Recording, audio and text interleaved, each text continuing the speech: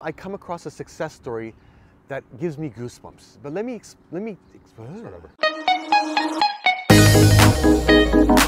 And we're doing a little test, test over here.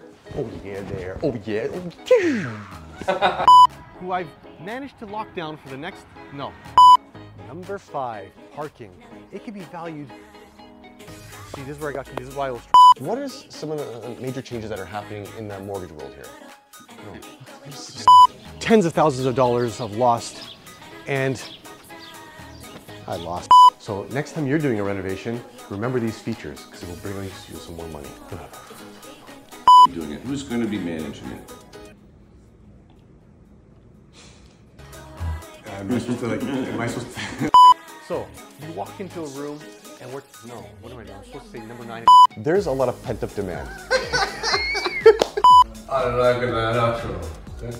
So we've talked about. They've been friends from that long. They've been best friends. I think I'm mumbling. Hey, you want to learn how to double your income? yes.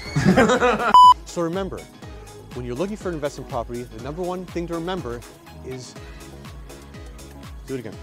That is all relevant. See, this is what. So I specialize in investment properties. So if you ever want to talk to me, feel free to reach out.